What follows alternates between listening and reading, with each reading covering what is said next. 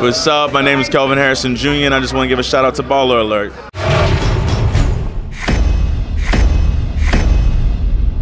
So, can you give us five key words on how to keep a successful relationship?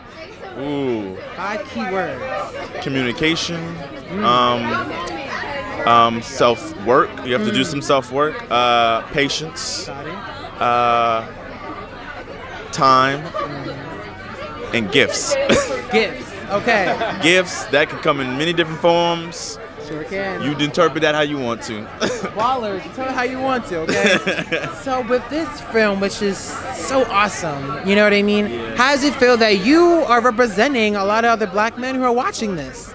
It's so cool and also with my character it's, it's just cool to see like young people um, being like Lakeith has always been a, an inspiration to me and show me that like you can kind of go up in this business and make interesting choices and he's always made choices that felt very authentic to himself and, and black Got it. um, whether it be him doing Boots Riley's movie or you know him also just being in Uncut Gems and still holding down the fort. You know, Exactly, I think it's it's showing us that like we, we we we can be present and we can be unique and we can be we can be our full selves. And I think my character's like this awkward.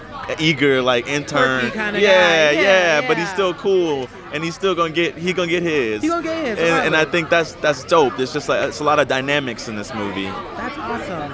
So, for our lady ballers who are looking at this right now, what, how can, how should they, I should say, how should the females approach you if they want to get your attention? Um, I got a girlfriend, so there should be no approaching.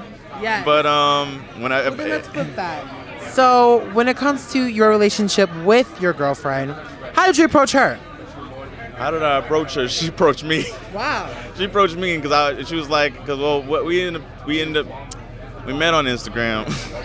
So you was in the DMs. I was in the uh, yeah, I was in the DMs. Okay, you yes. slid in there first. Slid in there, and then she responded, and then we, I started playing cup pong, and I lost, and then I stopped texting back because I lost. You want to play a game? I want to play a game. Wow. And then she texted me a month later and she was like, Should I have let you win? and I was like, All right, I like this girl. So here Okay, we go. a little challenge. A little challenge. I love a challenge. So then what you're telling us, ladies, approach him. If you want him in 2020, approach him and play cup pong. Cup pong, any game. Eight ball. Eight ball, archery. I might beat you at all of them or lose it at the same time. Or Who's she might let you win. Or she might let me win. That's she the let, truth. She let you we win. didn't have to do it like that. Listen, Dang. I don't play mother, sis. She ain't man defend myself. She let you win.